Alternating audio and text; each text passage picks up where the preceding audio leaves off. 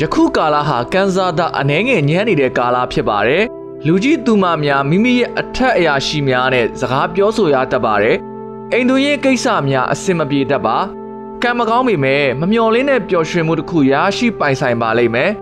ချစ်သူရည်စားတွေအနေနဲ့သဘောထားကွဲလွဲမှုအနှဲငယ်ရှိပါမယ်စက်ပိုင်းဆိုင်ရာပျက်စီးတစ်ခုခုဝင်ကိန်းရှိပါတယ်ခရီးယာယီထွက်ရတတ်ပါတယ်ကောင်းသောခရီးပါ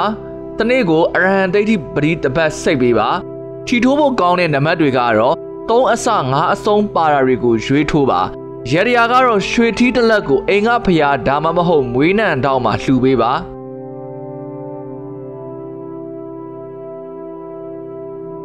မိတ်ဆွေများကိုတတိထားပေါင်းတင်ပါမိမိဟာမကောင်းကြံတတ်ပါတယ်စီးပွားရေးလုပ်ငန်းများလည်းတတိထားလှုပ်ကင်ပါအနှောက်အယှက်ရှိတတ်ပါတယ်စက်တူလုပ်ငန်းမလုပ်ဆောင်တင်သေးပါခရီးသွားရင်လုံးဝမကောင်းသေးပါ ကံမကောင်းပေမဲ့မမျော်လင့်ပဲငွေဝင်တတ်ပါတယ်ဒါပေမဲ့ထောငွေများနေပါတယ်ဝန်ထမ်းဖြစ်ရင်လည်းကံမကောင်းသေးပါအထက်လူကြီးနဲ့စကားပြောဆိုရတတ်ပါတယ်ဘာသာရေးမများလို့ပါခုံတော်ကိုးပါးကိုတနေ့တစ်ပတ်စိတ်ပါထီထိုးဖို့ကောင်းတဲ့နံပါတ်တွေကတော့ခုနှစ်နဲ့ကိုးပါတဲ့ကဏ္ဍတွေကိုရွေးထိုးပါရရယာကတော့အစိမ်းအောင်ထီးနှစ်လက်ကိုအိမ်ကဖျားဒါမှမဟုတ်မွေးနံတောင်းမှလှူပေးပါ ကန်ဆာတာကမိမိဘက်ကိုမျက်နှာမပေးသေးပါဘာကိစ္စလုပ်လို့တတိထားလို့ပါအာမခံကိစ္စငွေကြေးကိစ္စများမလုပ်ပါနဲ့မိမိနဲ့လုပ်ငန်းအတူတူပူးပေါင်းသူများနှုတ်ဆက်ထွက်ခွာသွားတတ်ပါတယ်ခရီးသွားရန်တင်းတဲ့အချိန်ဖြစ်ပါတယ်အိမ်ကိုခြေနှချောင်းဝင်ရင်တတိထားပါရံများတတ်ပါတယ်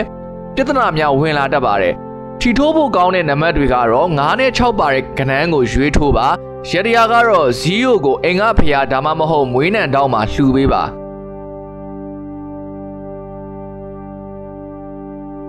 အခုကာလဟာစီးပွားရေးလုပ်ငန်းမတိုးချဲ့တဲ့ကာလဖြစ်ပါတယ်အတိုက်ခံအနောက်ရှက်တွေဝင်လာတက်လို့ပါငွေချေးတာတွေအာမခံတာတွေလုံးဝမလုပ်ပါနဲ့ဘယ်လုပ်ငန်းကိစ္စမဆိုထင်သလောက်မပေါက်ရောက်ပါဘူးဒါပေမဲ့မမျှော်လင့်မဲ့ငွေဝင်ကိန်းရှိပါတယ်ထီထိုးဖို့ကောင်းတဲ့နံပါတ်တွေကတော့တင်းနဲ့နှစ်ပါတဲ့ကဏ္ဍကိုရွေးထိုးပါရတရာကတော့ကောင်းလိုင်းနီမုတ်ကိုအိမ်ကဖျားဒါမှမဟုတ်မွေးနံတောင်မှလှူပေးပါ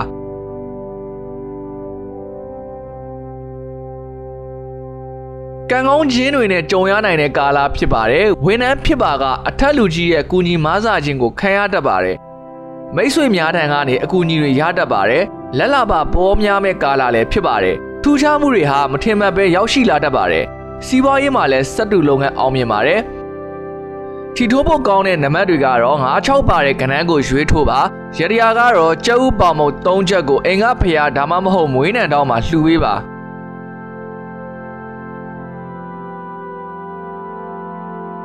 ကံကောင်းခြင်းအနှဲငယ်သာရှိတဲ့ကာလဖြစ်ပါတယ်စက်တူလုပ်ငန်းတွေအကျိုးပေးပါလိမ့်မယ်ခရီးသွားရင်ကောင်းပါတယ်ဒါပေမဲ့ခြေထောက်ကိုတတိထားပါထိခိုက်နိုင်လို့ပါ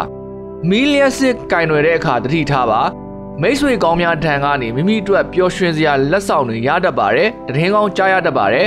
ဂုံတော်ကိုးပါးကိုတပတ်ပတိစိတ်ပေးပါ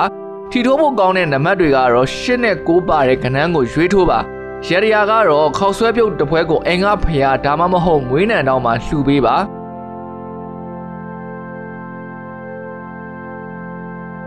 ကျမ်းမာရေးပိုင်းအလွန်ညံ့နိုင်ပါတယ်ဝမ်ပိုင်းနဲ့ဆိုင်တဲ့ယောဂဖြစ်တတ်ပါတယ်စက်တုလုပ်ငန်းတွေအကျိုးပေးမဲ့ကာလလည်းဖြစ်ပါတယ်ဝန်ထမ်းဖြစ်ရင်အထက်လူကြီးရဲ့ချစ်ခင်မှုကိုရရှိပါမယ်ချစ်သူရှိသူများကလည်းအခြေရင်းနဲ့အဆင်ပြေတဲ့ကာလဖြစ်ပါတယ်ကုသန်းရောင်းဝယ်ရေးလုပ်ကိုင်သူများအဆင်ပြေပါမယ် ပထန်းတို24ပစ္စည်းကိုနေ့စဉ်ပရိစိတ်ပေးပါ